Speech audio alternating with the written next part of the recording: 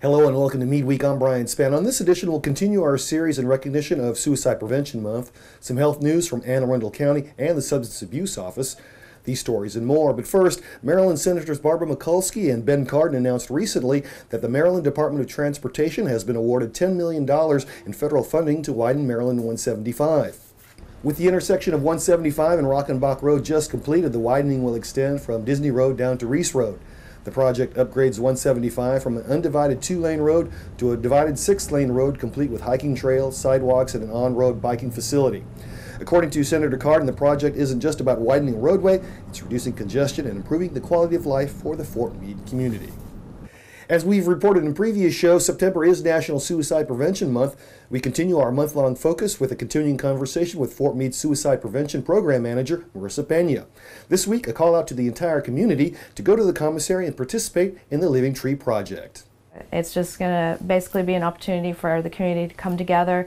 People who are contemplating suicide feel like they, you know, they have no joy, they have no happiness, they, they no, re, you know, no reasons for living.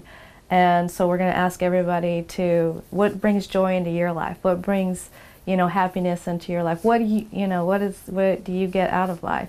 And everybody, kids, family members, you know, everyone that wants to uh, you know, just write whatever brings joy in their life on the leaf and tape it onto the tree. And we're also just encouraging, you know, families to get involved with their kids and let them know about it and everything. And you can bring personal mementos, um, pictures, whatever. Next week, we'll take a look at the year round Applied Suicide Intervention Skills Training or ASSIST program. Meanwhile, in more health news, the Anne Arundel County Department of Health is conducting a raccoon oral rabies vaccination program across the county to include Fort Meade. The purpose is to reduce the spread of rabies among wild animals. The campaign takes place through September. On Thursday, Fort Meade areas were baited.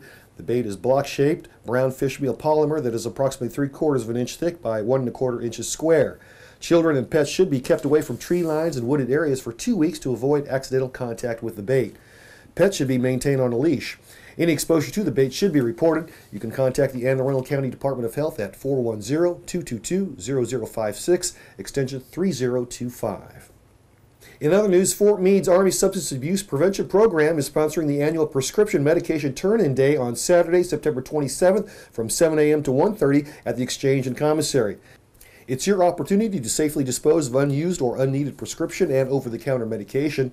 You can leave the medication in its original container, but you should remove any personal information. For more information, you can contact the Army Substance Abuse Program at 301 677 7983. Finally, on this edition, any USO facility at home or overseas simply couldn't operate without its many dedicated volunteers. Meet Sergeant Major John Omer, Vietnam veteran and Fort Meade USO volunteer.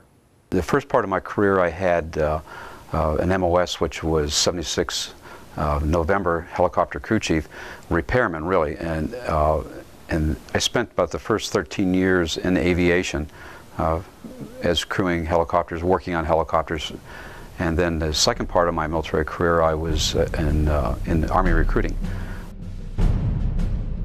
First of all, I didn't know what Vietnam was or where it was. I was stationed in Germany and had a really nice job flying you know, back and forth from Munich, Germany down to Oberammergau and Garmisch, which were resorts. We were flying VIPs back and forth from the uh, Munich airport.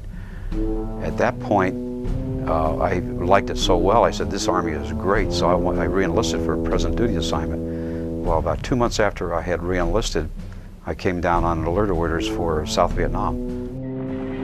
And I was assigned to a unit, uh, the 162nd Assault Helicopter Company, and we were right near the Cambodian border. We probably were maybe 10 miles from the Cambodian border.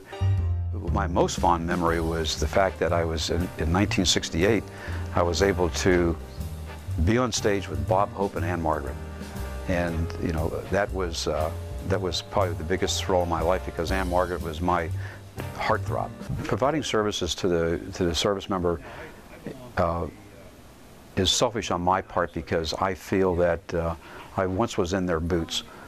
And uh, if we can make them as comfortable as possible uh, during their uh, time here in Fort Meade, then so be it. I'm going to do that. And that's Meade Week for this week. I'm Brian Spann. For everyone at Meade TV and the Fort Meade Public Affairs Office, have a great weekend and a great Meade Week.